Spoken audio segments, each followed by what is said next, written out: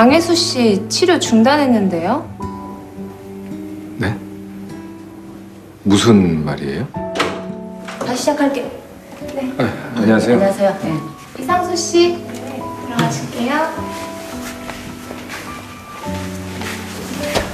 아, 저 선생님 잠깐만요.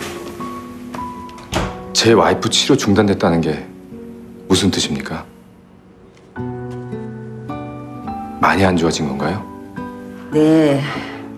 환자 상태가 많이 나빠져서요. 악화 속도가 너무 빠르네요. 방법이 없어요? 그래도 치료를 해봐야죠. 나빠지고 있다면서요. 이렇게 손 놓고 있다는 게 말이 돼요? 지금으로선 딱히 방법이 없습니다. 아무것도 장담할 수가 없네요. 이거 보세요. 그런 게 어딨어요. 그런 말은 누구나 할 수 있어. 당신 의사야?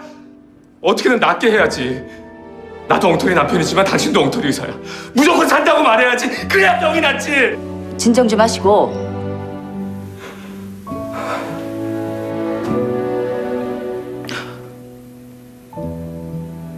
부탁합니다, 선생님. 살려주세요. 우리 예수 살려야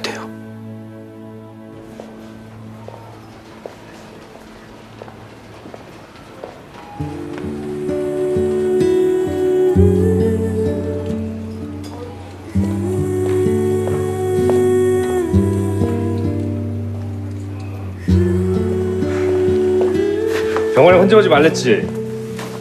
왜 또 약속 어겨? 응? 에이구 고생했다. 배 안 고파? 진짜 배고파. 나 맛있는 것 좀 사줘요. 뭐 먹고 싶어? 말해. 다 사줄게.